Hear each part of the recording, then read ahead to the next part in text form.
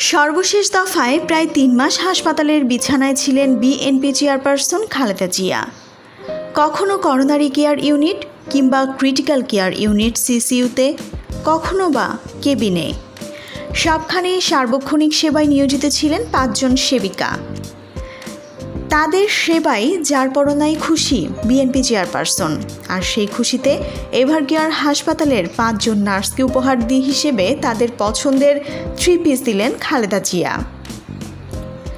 খালেদা জিয়াকে গুলশানের ফিরোজায় ফিরিয়ে নেওয়ার পর তার মেডিকেল বোর্ডের একজন সদস্য সময়ের আলোকে এই তথ্য জানিয়েছেন।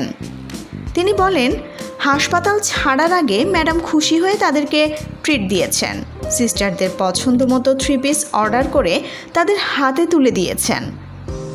ম্যাডামের ট্রিট পেলে তারাও আবেগ আপ্লুত হয়ে পড়েন। এ সময় ম্যাডামের কাছে তারা দোয়া চান। ম্যাডামও মাথায় হাত দিয়ে আশীর্বাদ করেন তাদের।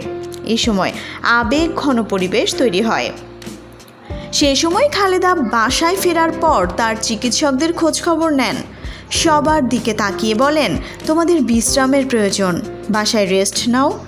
অনেক পরিশ্রম করেছ। সবাইকে ধন্যবাদ। আমার জন্য দোয়া রাখবে।